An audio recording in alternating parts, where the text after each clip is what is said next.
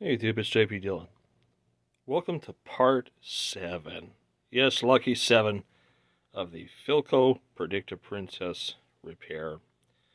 The previous video, we got our power supply issues worked out and we got a full screen raster. So now it's time to work on the important things that make the picture and sound, which would be the IF and the tuner and probably the audio stage. Off camera, uh, I have replaced the final two film caps that were hiding back there and also upgraded our rectifiers to some 1N5408s. 3 amp at 600 volt is, uh, I'm sure, more than enough considering the originals were, I believe, only 1 amp or 1.5 amp each. So, I'd like to be a little more overbuilt. So now what we need to do is get the shield off of this and then take a look at the board and get the board up. And to accomplish that, we need to bend all these little tabs so that the shield will pass through the holes there and we can lift it out. And uh, also make sure to undo the little cable clamp that's for your coaxial there. And we'll need to remove some wires too, but first let's get the shield up. So let me get this on the mount so we can see it a little better. I'm sure I'm going to bump the crap out of everything, so bear with me a bit. Let me see if I can get an appropriately sized tool. And your goal is to just straighten these out without bending them too much, because if you do, you'll fatigue them and then they'll break. So we just want to get it enough so that they pass through the holes here and we can get the shield off. And just wiggle and jiggle until you can feel them pass through without any kind of real resistance.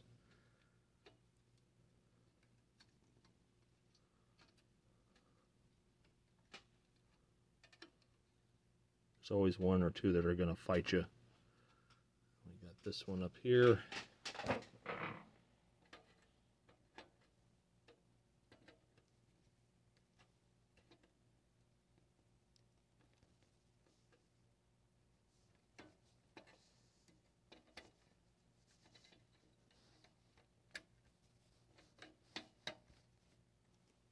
All right, looks like it's starting to come up.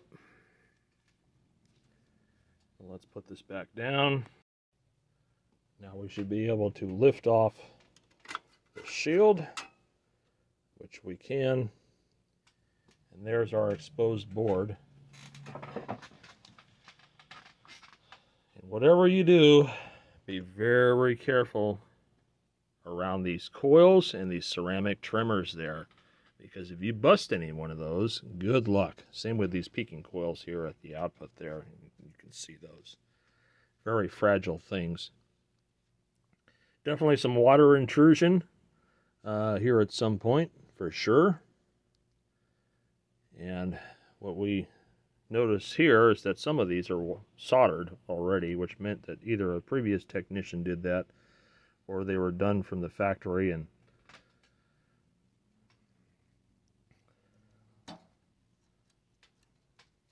and definitely signs of water intrusion. So we have to take a look at the bottom of the pins and make sure that there's no rust creeping up the pins which would uh, interrupt the vacuum seal and kill these tubes. The General Electric one obviously being a replacement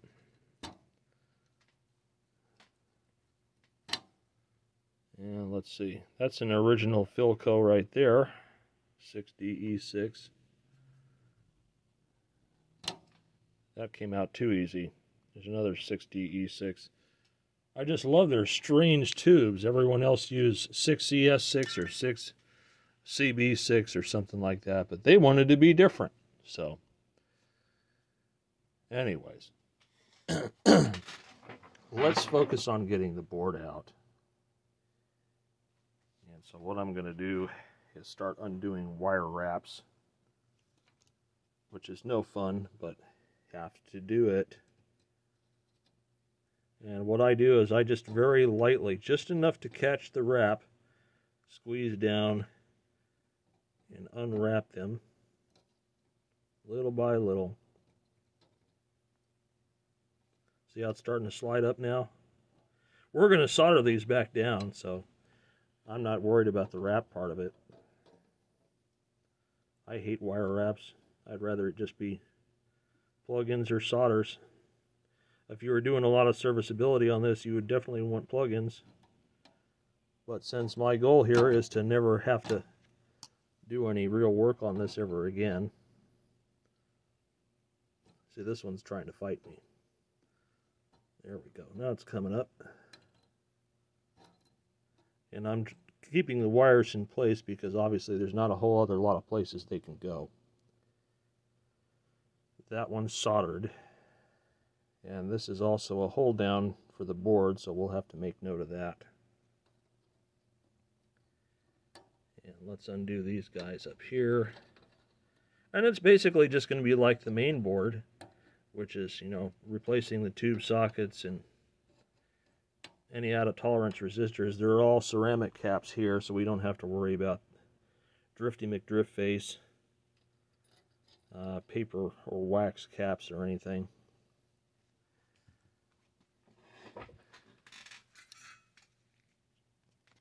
And I think what I want to do now is focus on unsoldering these guys here. And the one in the back. Which you can barely see back here, but there it is. We need to try to get him loose.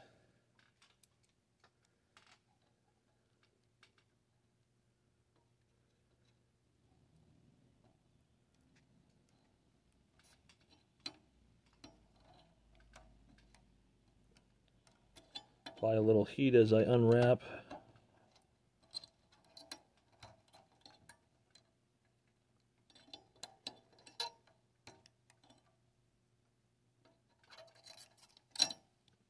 Okay, so he's up. Now we gotta work on that guy. There's a wire wrap over there I missed, but we'll get to that in a minute. This one obviously because I don't want to damage that. I'm just going to clip it and we'll solder it, strip and resolder it when we get to that point.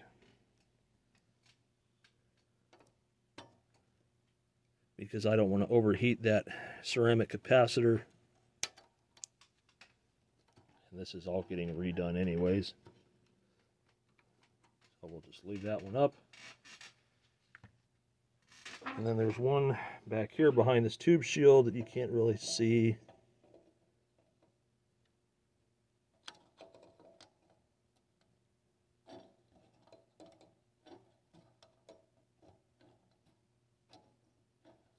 If you ever work on Pioneer stereo gear from the 60s or 70s, it's all wire wrapped like this too.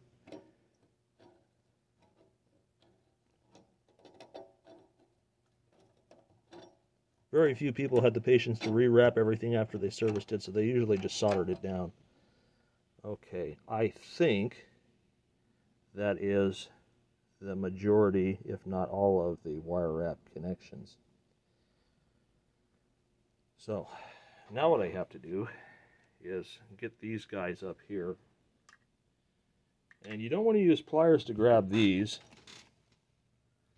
You want to use a hook tool because using pliers will absorb more heat and it will take you longer to get them up versus just resting your soldering iron on it as you tug upwards with the uh, pick. That comes right up. Let that cool before I put it back down. That way it doesn't re-stick itself. Do the one in the back here. Same method trying not to slip and murder everything in sight. Oh, I'm sorry, I can't say that word. That's one of those forbidden words. I have to say unalive. Where have we gotten to? Okay. And then I'm going to try this guy back here. I know this is like the horribly boring part. If you don't want to watch it, skip ahead to something cooler. And since I'm just shooting this video, I don't know what that's going to be yet. Oh, I'm not even making contact with the piece of metal. That's why it's not coming up. Come on. I hear you. You're moving. All right, there's another one. And then there's the one up front here, which is also attached to that capacitor. I'm a little leery of that. But we got to get it up somehow. I know there's a joke in there somewhere, but just not in the mood today. Come on. I know. There we go. Up, up and away. Come on, harden up. There we go. And then I got two more, which are over here at the edge. Got this guy here, which you can't really see because of that wire bundle that's in the way.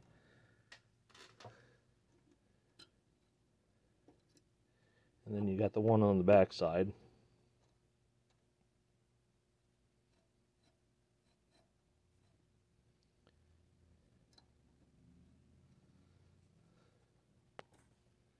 And let's see if we can get a better angle for heat in here.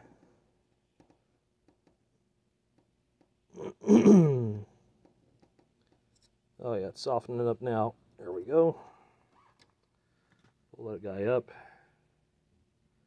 We're almost there. Just got one more back here to do. I can't really give a better bird's eye. There's just not enough room for me, the camera, and everything else.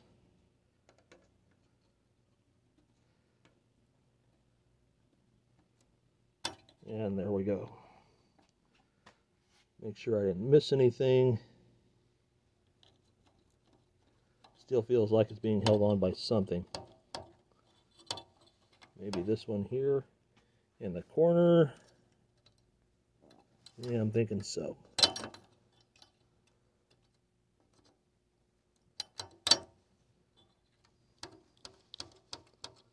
Come on. Where are you? Oh, I see there. There's a big old blob of solder that trickled down into the hole.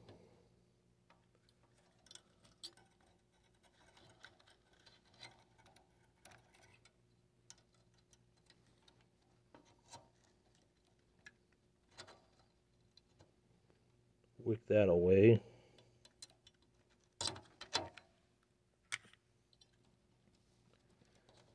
Almost there. Also looks like the tab's a little bent too, so let's see if we can straighten that out.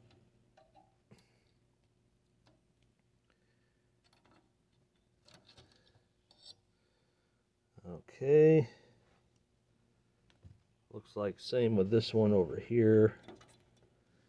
Soften the solder a little bit.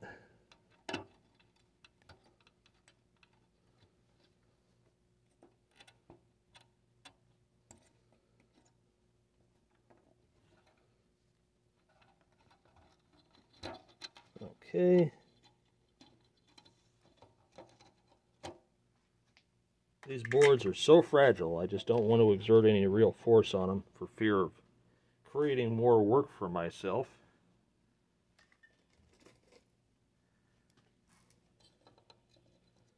Get some of this stuff out of the way. And there we go. Boards out. And we'll worry about cleaning up all of these pads here later. Okay, let me get the chassis off the bench and then we can take a look at the board. Alright, so here's our IF board. It's pretty dirty. I'm not going to use quite the aggressive cleaning method that I did on the main board because there are lots of little fragile coils and things that if I damage them, we're SOL. We've got one 9 pin socket to replace and we've got two 7 pin sockets and thankfully they just have the solder adjacent terminal shield so we don't have to come up with anything too fancy like we did on the main board uh, with that integral slide up shield so what I'm going to do is uh, basically just take some CRCQD, which has very quick drying solvents in it, and spray down the board. And then we'll get to uh, replacing components. Backside of it's actually really good looking. So not a lot of heat generated here. This is still mostly a green color. There's not too much heat buildup. The tube sockets are still well soldered.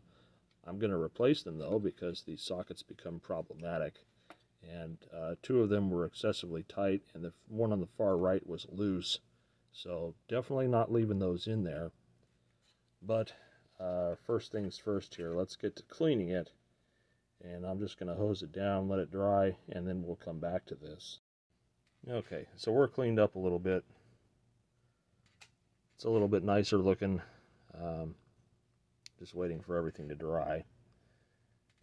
And while we're doing that, I think we'll ohm out some of these coils and things to make sure that they're alive and make sure that there's nothing that I have to try to repair or source uh, that would really slow this down. I place this meter in a spot where we can all see it. It's a little better.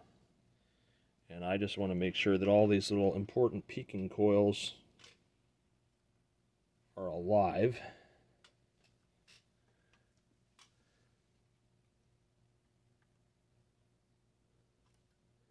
Because if they're not, we're going to have issues.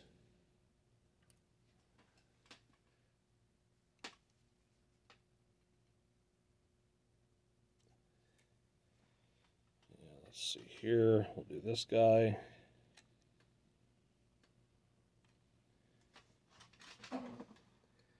There's one over here.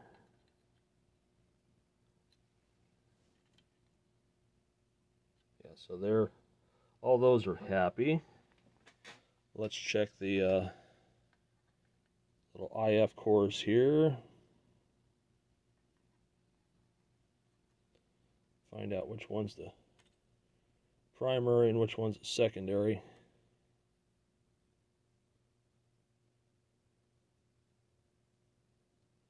Probably have to look at the schematic to be sure.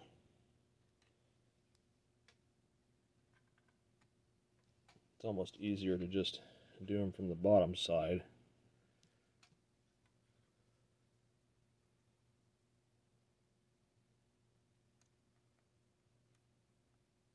Yeah, that looks good.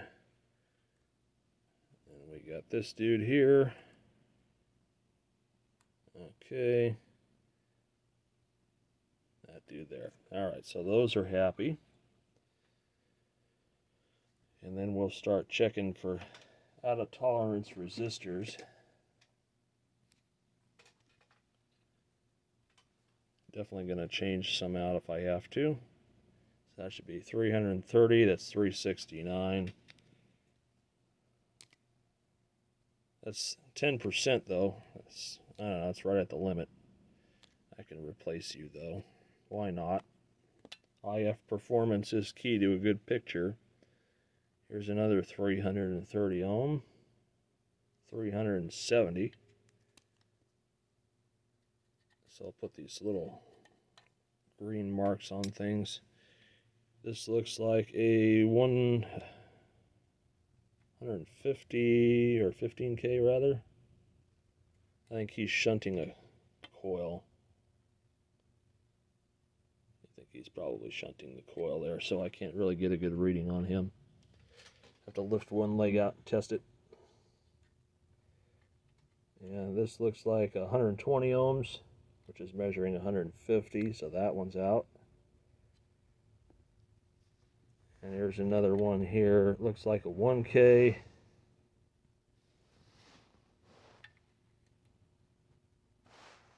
One point three megs, really? Yeah, really. That dude right there, brown, black, red, that's a one, it's supposed to be a 1K. Measured from the back side just to be sure I'm not picking up any gunk. There we go. So, for all you that were curious, he's still 1K. Uh, just couldn't read through all the crud.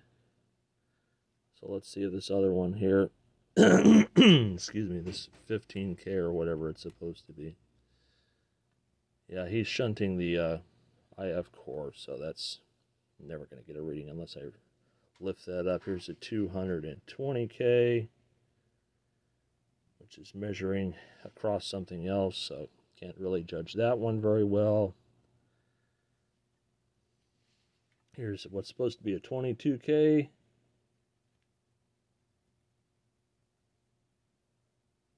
Yep, 18 in circuit is pretty good. Here's another 1K, that's all right. This one's supposed to be 27K, looks like. Of course, he's shunting the uh, IF core. So we'll have to check both that one and the 100 and, and the 15K, I think it was. It's supposed to be 100K. It's measuring lower in circuit. That makes sense. Another 1K.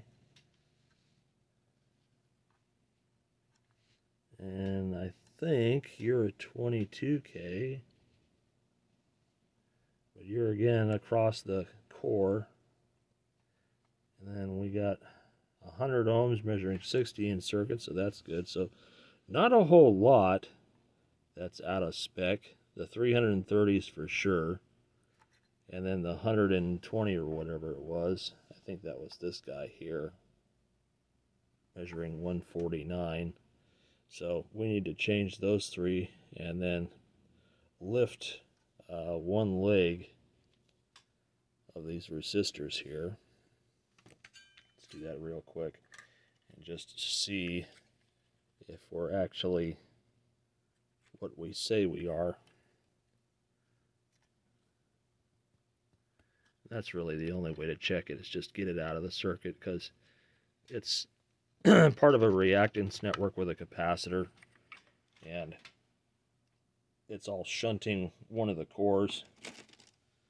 So you're not going to be able to know.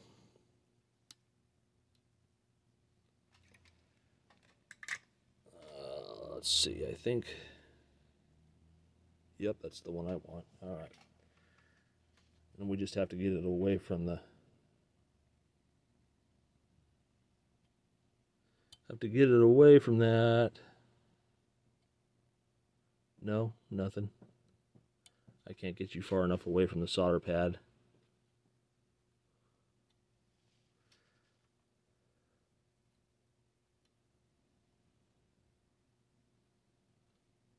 Yeah, I saw 14.8 something.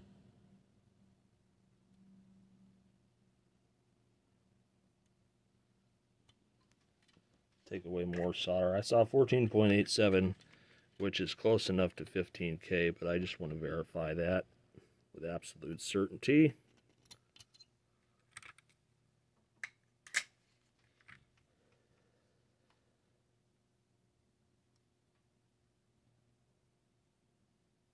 Sixteen point one actually. All right, so sixteen K out of fifteen K is totally acceptable.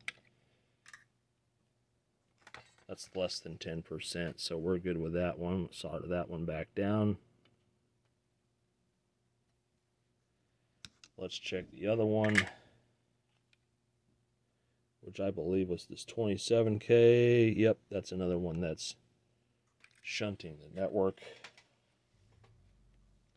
And I highly doubt that it would make a tremendous difference like night and day if one of those resistors was defective but it would definitely affect the picture and sound. So we're just going to be thorough.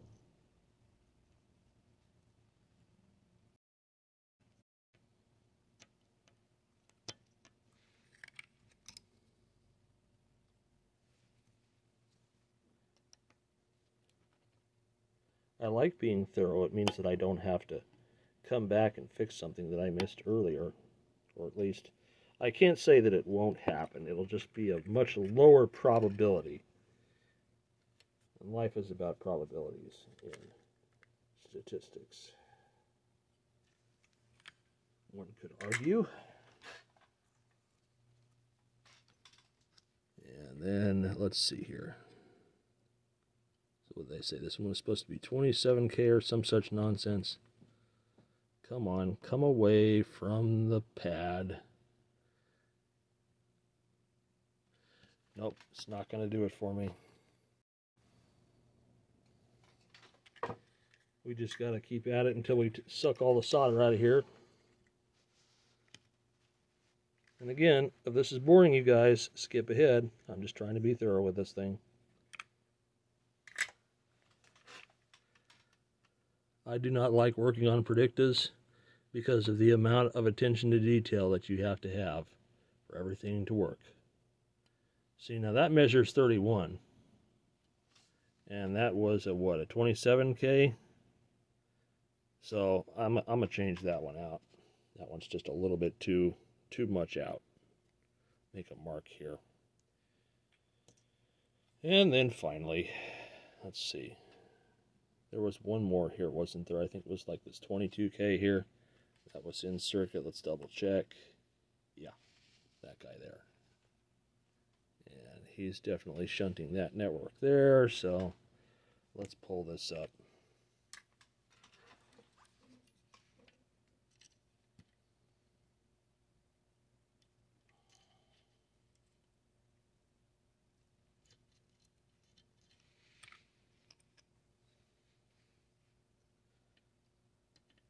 So, so far we've got some resistors to replace. No real shocker there.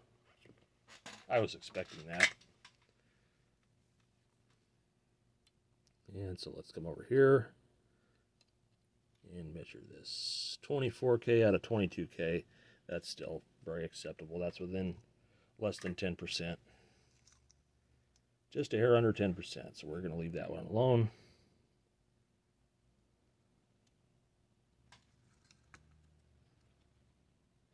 Uh, but the 27 measuring about 32, that's getting close to 15 there. So I am going to change that.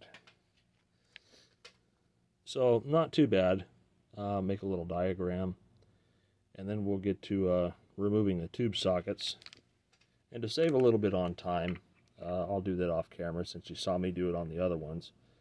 But we're just going to remove the tube sockets, take them out, uh, take the shields out, and then replace them with our nice fancy new ceramic ones. And then uh, replace the resistors, do all the soldering necessary on the board, and then pop the board back in. And then we'll work on the tuner. Alright, so here we are. I've got the new tube sockets in. Looking nice and fresh there. I had to make a little extension leads for the shield here. That's just par for the course, I guess. The other two went in fine. We replaced our out of tolerance resistors. Let me turn this on here. That way we're a little less shaky. Um, went over the board, resoldered the entire board, ohmed out all the traces, and everything looks good. So it's time for this to go back into the set and then we can take a look at the tuner and see what needs to be done on the tuner. Usually they just clean up and lube and they're good to go. And then we can finally get this thing together and see if it will produce real picture and sound. But uh, again, I'm not going to go nuts on cleaning the board here because these coils and things are, in my opinion, too delicate to uh, risk damaging since they all owe them out and they're happy. We're going to leave them be. So let me get this thing back in the set and then we'll take a look at the tuner. Well, there it is. All back in the chassis. Shield on it. Tubes in. We're ready to take a look at the tuner. And then once we get the tuner done, we'll hook everything up together and see how it runs. Alright, so here's the tuner. And we need to make sure that this antenna balun connection is okay. Probably replace that capacitor there. We'll pop the cover open and check the wafers and check all the little parts inside. Check the frictional coupler there for fine tuning. And there's all your slugs to adjust uh, the channels properly labeled and such. That's your pilot lamp there, which is probably an 1847. This has no tubes in it. The tubes were missing when it was brought to me, and they look like they've been out of there for some time. Now, typically the sockets on the tuner don't go bad, so given the pain in the ass factor to replace them and that lesser probability, I think I'm just going to clean them and go with it. So let's get the cover off. That's just uh, hex nuts down there. And then we should be able to get this apart, take a look inside. Alright, so here's the tuner with the cover off. All these little coils and stuff. What we're looking for is little cracks in the phenolic discs. Making sure that there's no breaks or any damage with any of the contact plates. In fact, let me see if I can get in here with the macro. Oh, look, we've got a visitor. He's been living in there for a while.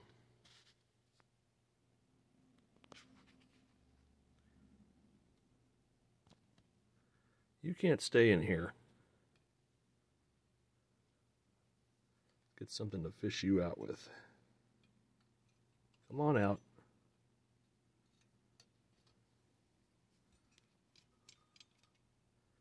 Yeah, he don't want to come out. He's going to live in there for a little bit. Just wait till the high voltage kicks up. Yeah, yeah, yeah. Let's see if we can get down in here with the macro.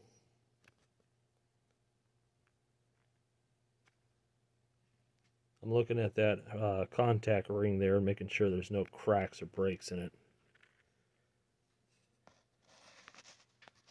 And let's see here. Make everyone dizzy.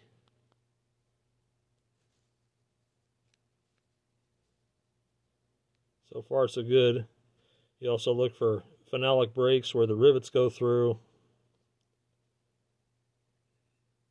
Only seen a couple of them die that way, but while I'm in here, I want to make absolutely certain. Fair amount of wear on that contact plate.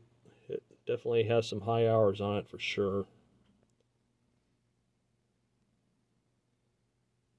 Now you can see the little tin whisker things better. I don't think we have to worry about that really, but there they are. Nice and shiny. Okay.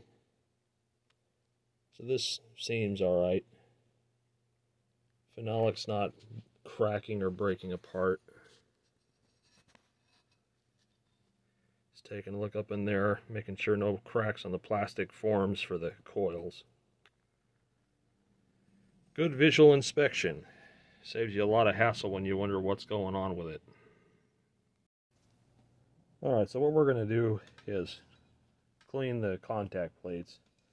And I'm using uh, some CRC QD because it doesn't leave residue. It's drying. I don't use deoxit on tuners if I don't have to because I find with these old tunable slugs here that the deoxit will settle inside and it actually changes the reactance enough to where your tuner will drift and detune. So I don't recommend doing that.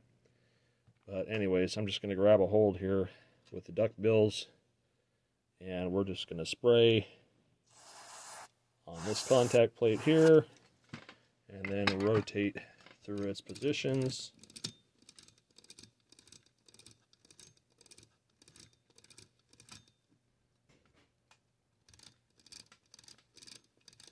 And we'll repeat the process for the remaining wafers.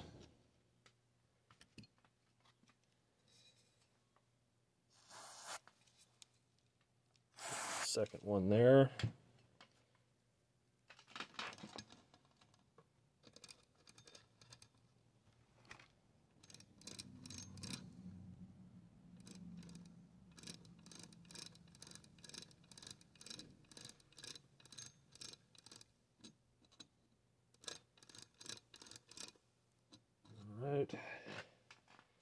Third one.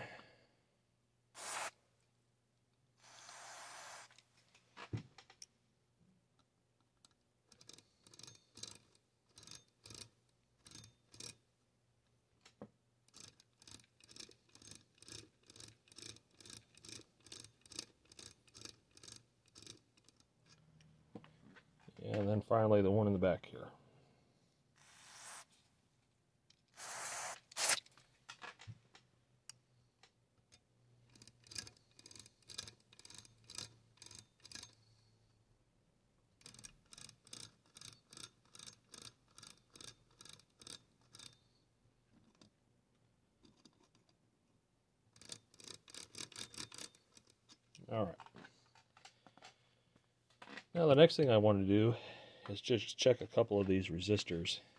Make sure that none of them are way out of tolerance or anything, because then of course we'll want to replace those too while we're in here.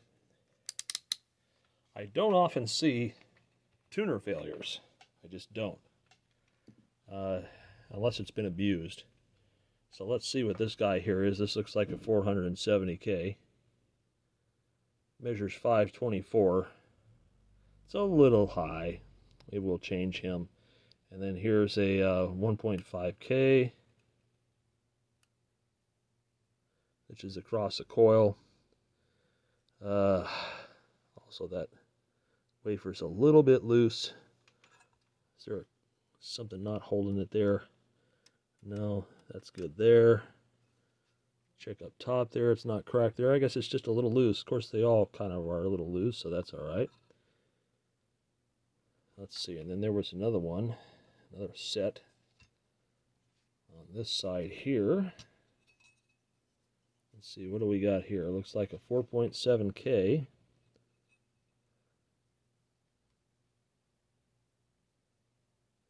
Forty-seven K. Oh yeah, that's an orange stripe. Forty-seven K measuring 60. So that's got to go. And then let's see here. This looks like 68K, measuring 75. These are all just really up there. And I'm going to need to order these because these are these are fat. One watt, two watt devices type thing. Uh, where are you Hard to tell what you are. Are you purple or are you brown? You look like you're supposed to be 1.8K. And you're measuring 2.5? Wow. All right. So all of those definitely need to get changed out. Then we got another one here. This tube socket up here. Looks like another 470 ohm. And you measure 500, 490 something. So you're still within 10%, just leave you be. Uh, but these guys here, these big fat guys, for sure got to go. And then that, oh, there's another one, the 10K hiding in here. You're probably shunting something, so I'm never going to know. Yeah, you're shunting something. Uh, okay. And there's another 10K floating up in there. Let's see what you do.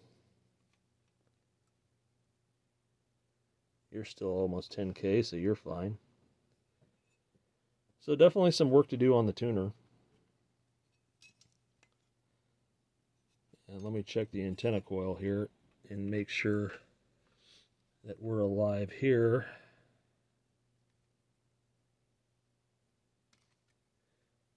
Get a good grip on the terminal here.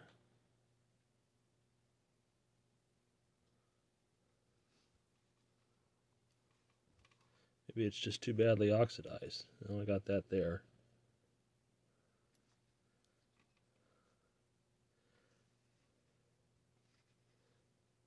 Balun coil here.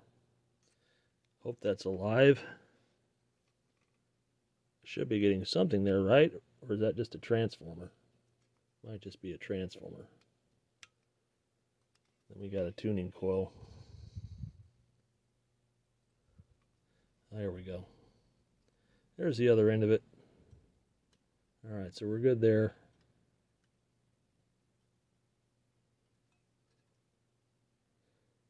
We're good there. Measure here. I can just get my probe on it. And we're good there. Okay. And then the little tuning inductor here. We're good there. All right. So everyone got to look at my hands for a bit. So let's find us some resistors and replace them. It's not going to be fun to get in here. I may just uh, end up eyeletting it or J-hooking it or something. And I got to remember not to put too much pressure on this guy or I'll break him right off. Okay, so 18K 1 watt, uh, 47K 1 watt, and then 1.8K 1 watt. And we should be good to go on this one. Alright, so we've got our new resistors in there.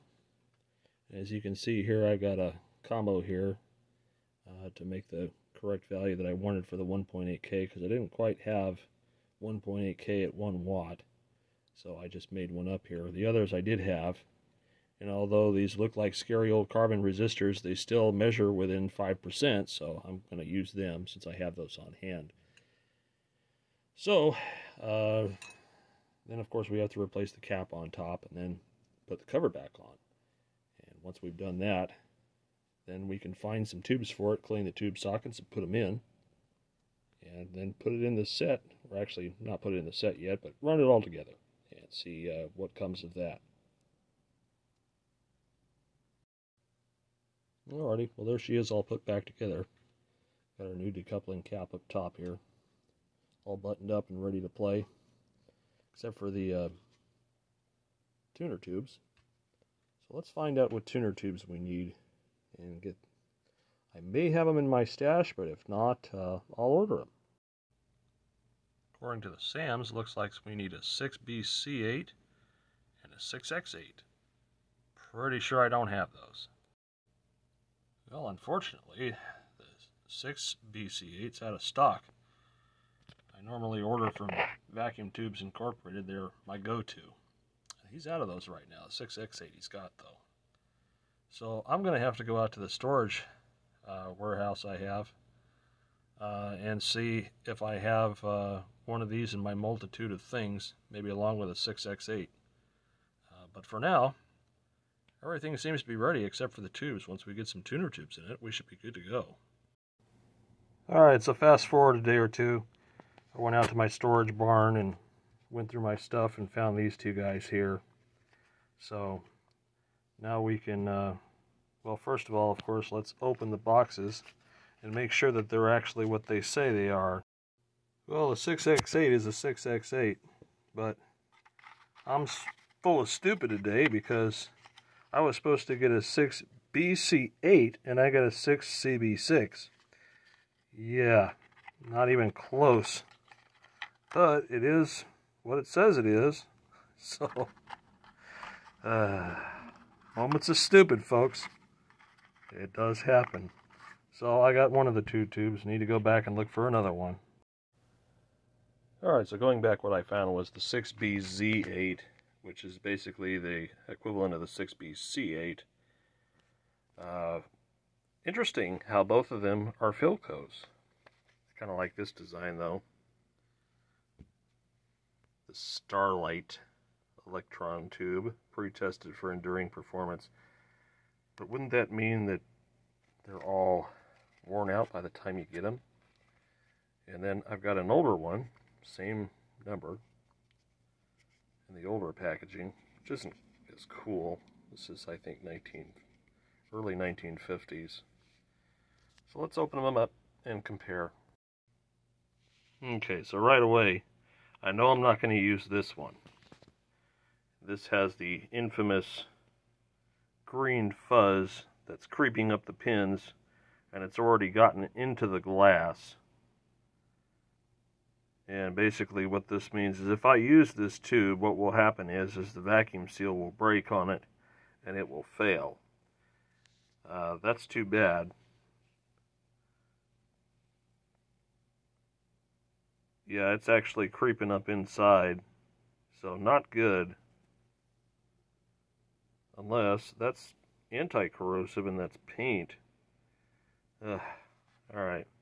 Let me uh let me ponder that one. Let's see if we can zoom in on it a bit. Maybe the pins itself is fine and that green stuff is anti-corrosive. Because it doesn't look like the pin in the envelope itself is, uh, is messed up. Alright, so maybe that's an option, and maybe it just needs to be cleaned off. And then the other one, pretty clean looking pins. So yeah, I yeah, I don't know. Let's uh let's see if we can clean the green gunk off of that and take a closer look. Yeah, it doesn't clean up. And the green stuff looks like it's inside the glass. Like inside the envelope, which is weird. So I don't know what's going on there. Maybe that's sealant? No, because it doesn't go through the lead there. It doesn't touch any of the leads. Yeah, I don't know. I don't know what that is. Looks funny to me. But we're going to test them both. Because, you know, sometimes new old stock doesn't always work. Alright, so into the B&K it goes. Let's see if it's lighting up. It is. 55 and 7, socket 7. It's got good emission. And then the second one, surprisingly not the same. Uh, let's check the other one. This is the one with the funky green stuff inside. This is the one that doesn't have the funky green stuff inside. Let's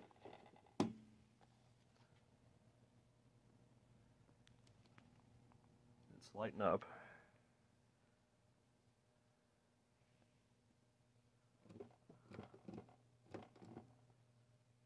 That one actually scores higher emission. Uh, no second section though, maybe we've got a dirty socket here.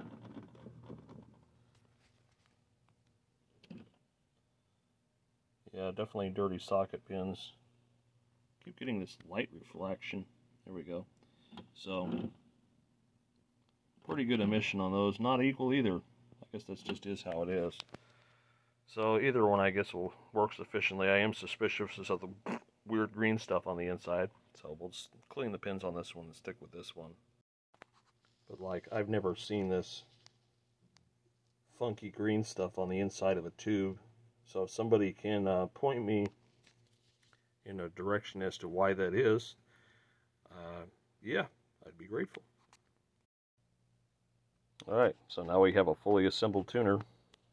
New resistors that are in spec, tubes, bypass capacitor there. It's all clean, new pilot lamp. So the big question of the hour is, is does it work? Well, does the whole set work? So now we're going to put everything together and we're going to see if it runs and inject a signal into it and see if we can get a response that way. Uh, because if so, that means that uh, the set's working correctly and we need to put it back in the cabinet and make all the final adjustments. So, exciting times here. Um, I'm really hoping that this thing just works and we don't have to go through any sort of scary crap to make it work. Because uh, given the fact that both tubes were missing, that's kind of weird. Of course, the rectifier was missing when we first got it too, so maybe some shop just cannibalized it for what they wanted given how hard these are to find. So, yeah, I don't know. Uh, it's time to set it all up and see if it actually runs. Alright, so I got our chassis back up on the bench here with the CRT. I've got the tuner hooked up and I've just got it clumsily wired into my uh, digital set-top box up there. So I'm not sure how clear of a picture we're going to get because I don't have all the fancy adapters and stuff to hook up right now. Uh, but we will be able to see if it runs, which is really what I'm after. I just want to see if it'll produce a picture.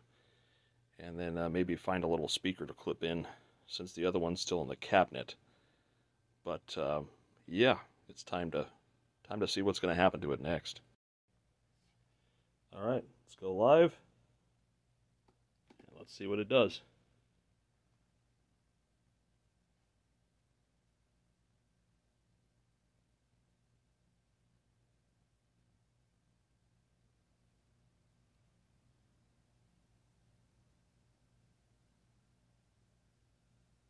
All right, I have a raster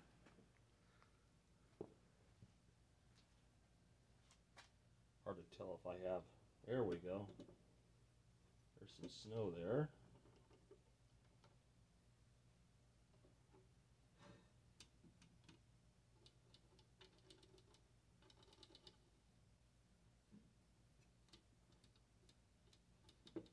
But so far, uh, no action. It's funny how when I go near this, then we start to see snow. Like there's a problem with the oscillator running.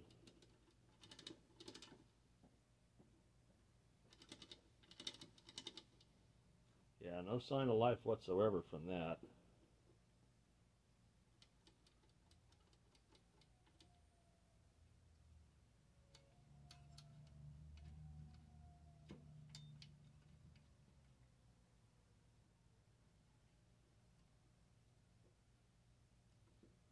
Yeah, it's funny how I get near it. Let's make sure I didn't do something stupid, like put the tubes in the wrong sockets or some such nonsense. Yep, dyslexia strikes again. I had the tubes in the wrong sockets. So let's see how we do now. I had to double check the tube chart. So now hopefully it'll come up and work. There we go. That looks like real snow there. That is bright. Let's turn that down a bit. Horizontal. There we go. A little less bright there. Okay. Now let's see what our tuner does. Definitely more variance there. Alright, so that's crossing over between 13 and 2. So we got 2, 3, 4. Alright, so we have no sync right now.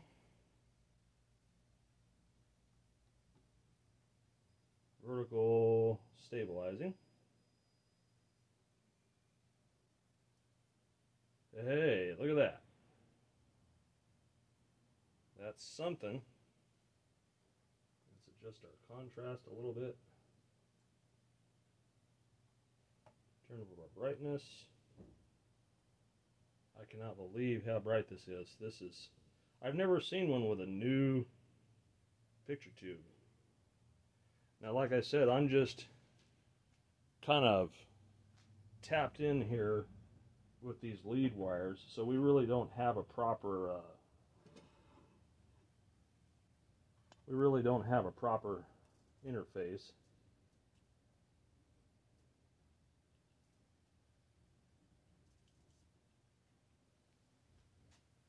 Let's see if we can adjust our, oh, that overloads it for sure. AGC is a little hot, and our horizontal is really touchy.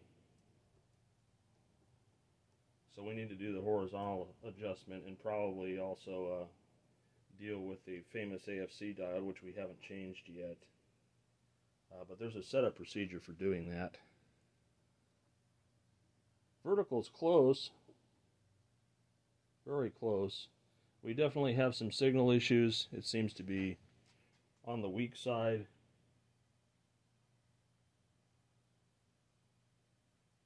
I'm just kind of toying with the RF adjustments at this point. And see if I can find my alignment toolkit. Maybe we can do some adjustments on the tuner. I really need to get a better signal into it first though. Let me uh, toy around with this for a little bit. Yeah, so right now, we're just not getting a good signal into it. It's just kind of crummy. Got a little bit of shrinkage there when we do the brightness control. The contrast ratio is also very high. And we got to do the horizontal adjustments. That's really touchy. But so far so good. Definitely overloading. So we need to work on AGC and other problems like that. But hey, it's alive and it has a picture. So that's a pretty good start. Like where it's going so far. Yeah, so playing around with this, I definitely think there's something going on in the front end of the tuner. Uh, because no matter where I inject the signal, it only gets moderately better. So I need to re-examine the tuner input here.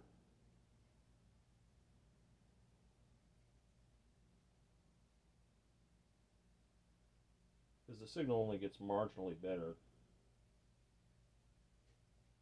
But otherwise, we have a picture.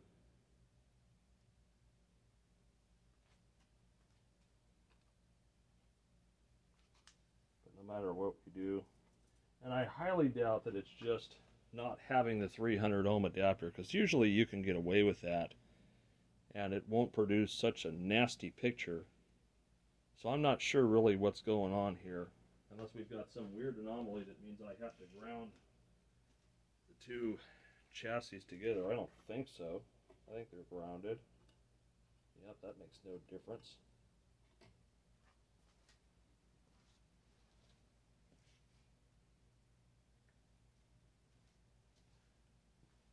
Horizontal linearity looks good.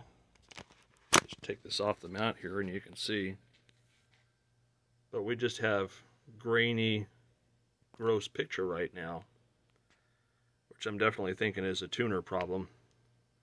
I need to dig up my subber tuner and see if that's in fact true. Or if there's something else going on here.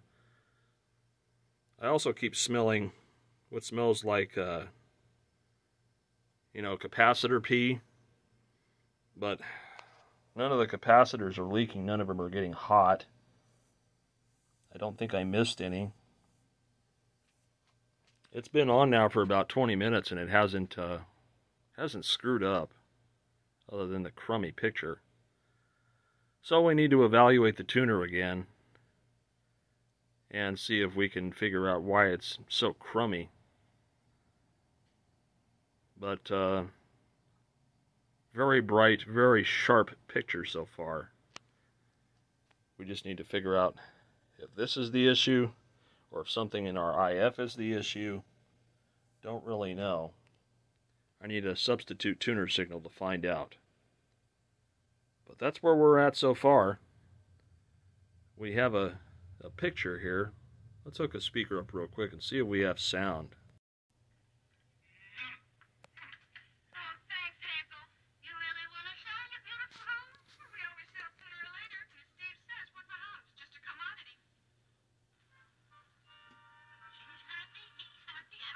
Yeah, we got sound. A little distorted, but we got sound. Intercarrier buzz.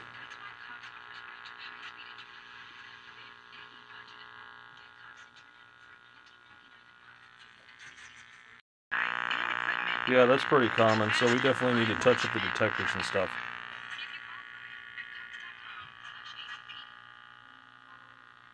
It definitely is overloading.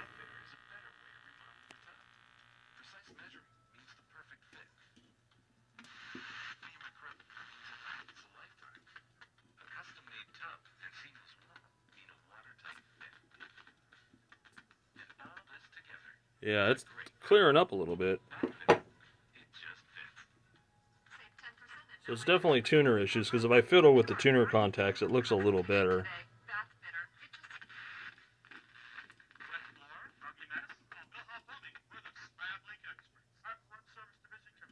Yeah, definitely sound issues. Great service and pricing you have come to expect, you know who to call. Got some underbiasing of the output tube or distortion in the detector. Got to scope that out. It's kind of waking up here. Better looking picture now. But I still think we need to sub this tuner with something else to see if we get a better picture. It is clearing up though. Interesting, huh? So I might check the uh, IF tubes just in case. These new sockets are awesome. I keep thinking it's a dirty socket, but then I remember I replaced them all except for the tuner. And the tuner, you wiggle it and it really doesn't change anything. Ooh, doesn't like that.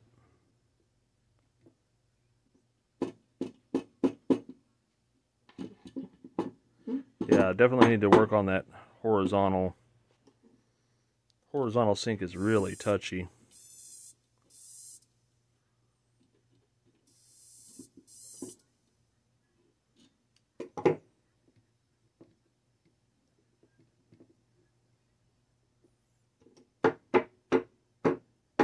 What the?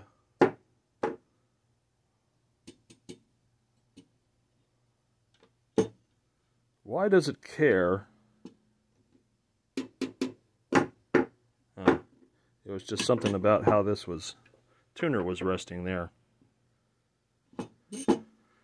Alright, enough playing around. So, it's coming together. We just need to get rid of the grainy picture, figure out what the cause of that is. But that's where we're at so far. More fun in the life of a Predicta.